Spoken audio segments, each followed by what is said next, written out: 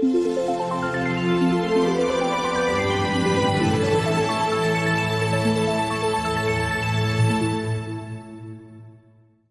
历了漫长的休赛期，新赛季 NBA 的脚步已经越来越近了。不少球星都结束了假期，投入到了紧张的训练中。在这个夏天，常常和詹娜黏在一起的西蒙斯也已经收心了。北京时间昨日晚间，西蒙斯在个人社交媒体上晒出了和詹姆斯一同训练的照片。西蒙斯在社交媒体上写道：“一大早就起来训练。”詹姆斯也第一时间在自己的社交媒体上晒出了相同的照片。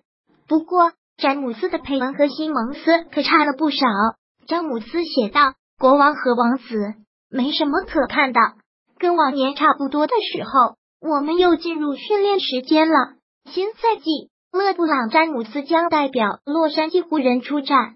如今的湖人与上赛季已经不可同日而语，不仅拥有朗佐·鲍尔、凯尔·库兹马、约什·哈特以及布兰登·英格拉姆等天赋异禀的新星，还补充了比斯利、隆多。”史蒂芬森等有经验的球员，那么在詹姆斯的眼中，哪支球队可以称得上是总冠军的有力争夺者呢？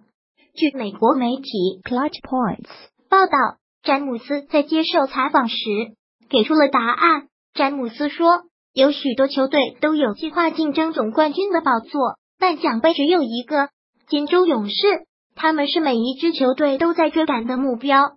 当然，还有休斯顿火箭。”俄克拉荷马雷霆、博士顿凯尔特人、费城七十六人以及多伦多猛龙。值得注意的是，詹姆斯并没有提到洛杉矶湖人。那么，您认为詹姆斯是故作低调，还是真的这么认为的呢？